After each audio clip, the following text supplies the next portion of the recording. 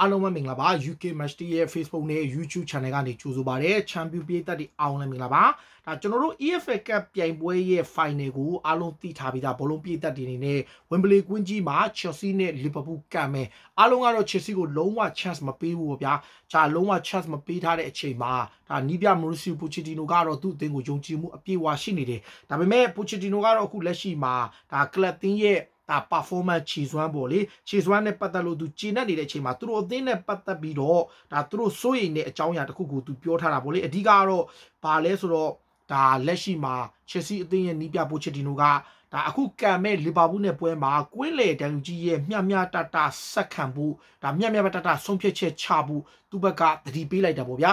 ဒါပြောချင်တာကကလော့ကယာတီကုံမှာထွက်တော့မယ် emotion ရှိပြီးတော့ဒန်လူကြီးတွေက Chelsea ဘတ်မဟုတ်ပဲဒါလီဗာပူးသက်ဘတ်ကိုဒါဘတ်လိုက်ပြီးဆုံးဖြတ်มาတယ်သူစိုးရိမ်တဲ့သဘောဒါလီဗလာပူလူပွဲမှာကွင်းလေဒန်လူကြီးတွေနဲ့ဗီယာဒန်လူကြီးတွေအားလုံးက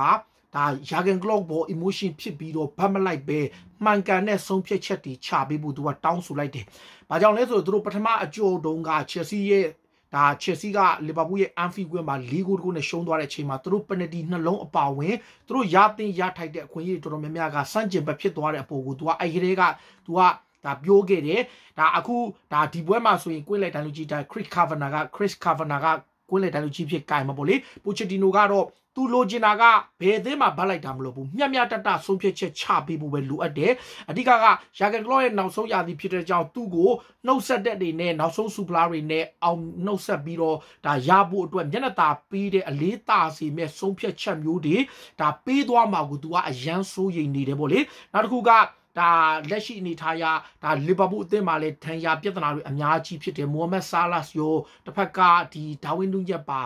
50-50ဖြစ်တဲ့ချိန်မှာ Chelsea ကတော့ဒဏ်ရာပြဿနာခက်နေနေရတီယာကိုဆီလ်ဗာတယောက်လောက်ပဲမပါဘူး ပါဖို့မတိကြတဲ့အချိန်မှာဒါပိုချီတီနိုအတွက် chance ရှိလားလို့မေး chance ဆိုရှိတယ်။ဘာကြောင့်လဲဆိုတော့အဲ့တပွဲ4-1ပွဲတပွဲကလွင်ဒီနှစ်သင်းကအမြဲတမ်းကစားရင် type ဖြစ်တဲ့ပွဲပဲတူတင်ကိုတင်တူတင်ကိုတင်အကျိတ်နဲ့ကစားတာဗန်ဒိုက်ကတော့ပြောထားတာဗောလေငါတို့အသင်းကိုမင်းတို့ဒါပေါ့ပေါ့တန်တန်ကစားပြီးတော့ serious မထားခဲ့ရင်ငါတို့မှမင်းတို့ကို ဒါအနိုင်ယူနိုင်တဲ့အရေးသွေးရှိတဲ့ကစားမတွေအများကြီးရှိတဲ့အကြောင်းငါတို့အသင်းကအနိုင်ယူဖို့အတွက်ယုံကြည်မှုအပြည့်အဝရှိလို့ဆိုထားတယ်ပိုချီတီနိုကသူ့အသင်းရဲ့ performance ထက်ကွင်းလေဒိုင်လူကြီးတွေရဲ့မပြမတဆုံးဖြတ်မှုမှန်ကန်စွာဆုံးဖြတ်ဖို့အားနည်းမှုနဲ့ယာဂန်ကလော့ရဲ့ပေါ် emotion ပြစ်ပြီးတော့ favor ပေးမှာကိုစိုးရင်တာကိုအဓိကပြောသွားတာပေါ့လေ Chelsea အတွက်ကျွန်တော်အမြင်ချမ်းရှိလားချိတာပေါ့ဘလူဝက်ဖြစ်တဲ့ကြောင့် 50 50မှုတော့ဗျာလက်ရှိလီဗာပူးရဲ့ form နဲ့ဒါဒီတစ်ဖက်က Chelsea ရဲ့ form နဲ့ကြာကွာဟနေတာမှန်တယ်လီဗာပူးကစိတ်ပိုင်းဆိုင်ရာရောရုပ်ပိုင်းဆိုင်ရာမှာအမြင့်ဆုံးရှိတယ်ဒါပေမဲ့ဒဏ်ရာပြဿနာတွေကသူတို့အတွက်အနည်းငယ်တော့နောက်ဆက်စရာဖြစ်တယ်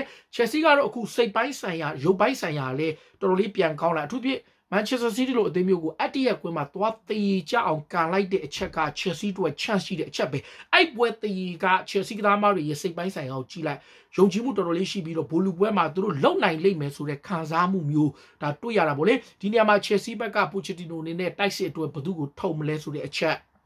လီဗာပူးကရောဆာလတ်ကိုနူးညက်မပါနိုင်ခဲ့ရင်ဂပ်ပိုရဲ့ DS နဲ့ဟိုဘချန်က ဟာဗီအီလီရဲ့ကစားမှာလားနောက်လီဗာပူးကိုယ်တိုင် support line ဘလို့ချီနေရှိလဲလီဗာပူးမှာလည်းသူ့ပြဿနာနဲ့သူပဲဒါပေမဲ့ဒီနှစ်သင်းကိုဒါပြီးခဲ့တဲ့ EFL Cup Final ပေါ့လေ2022မှာတစ်ချိန် FA Cup Final မှာတစ်ချိန်သူတို့နှစ်သင်းတွေ့ဘူးတယ်အဲတုန်းကတော့ Jurgen Klopp က Thomas Tuchel ရဲ့အသင်းကိုနှစ်ချိန်စလုံးပယ်နတီအဆုံးဖြတ်မှာနိုင်ထားတယ်သူတို့နှစ်သင်းကနောက်ဆုံး10ပွဲလောက်ရှိပြီတွေ့တာမှာ10ပွဲလောက်ရှိပို့လေအနိုင်ရှုံးပေါ်တာကဒီပြီးခဲ့တဲ့ပွဲစဉ်တပွဲလောက်ပဲရှိတာအချမ်းတာတွေအကုန်လုံးက ဂိုးမရှိသေးရေးတကိုးစီသေးရေးသေးရေးကြီးပဲဆိုတော့ဒီတစ်ချိန်အနိုင်ရှုံးဆုံးဖြတ်ပေးမလားနောက်တစ်ခုကပိုချတီနိုကဒန်လူကြီးပေါ်ဆိုရင်နေပုံမူကတော့ဒီပွဲကအဆုံးဖြတ်ပေးသွားနိုင်လားချယ်ဆီကရောအခွင့်အရေးရှိလားလီဗာပူးအတွက်ရောဘလို့ချင်နေရှိမလဲဘလို့ချစ်ပိတ်သက်တွေဘလို့မြင်ကြလဲပိုချတီနိုကတော့ကွင်းလေဒန်လူကြီးကြောင်လုံးမှာကိုစိုးရိမ်နေတယ်လို့သူကတော့ဆိုထားပါတယ်အားလုံးကျေးဇူးတင်ပါတယ်